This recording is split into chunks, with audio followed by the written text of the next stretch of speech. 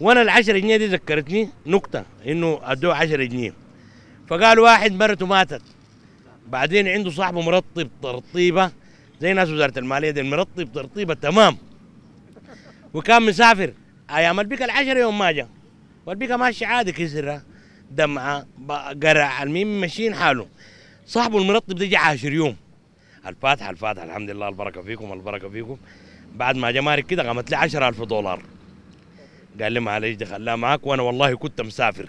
عين كده لقى 10000 دولار. قال لي علي الطلاق البيكا البكيت انت زول بكا ما في. أنا حاضر البيكا منه اليوم يا زول. ما في زول بكا زي بكا كده ذاته. البيكا دور ضلع تاني وبدا أكل. ف 10 جنيه زمان كان لها قيمه يا اخوان وكان لها معنى